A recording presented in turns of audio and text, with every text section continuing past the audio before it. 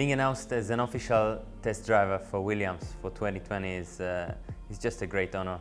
That, that was my goal, reaching Formula One was my goal since I was six or seven years old, starting from karting. And uh, now it's time. With Williams, it's just a huge honor.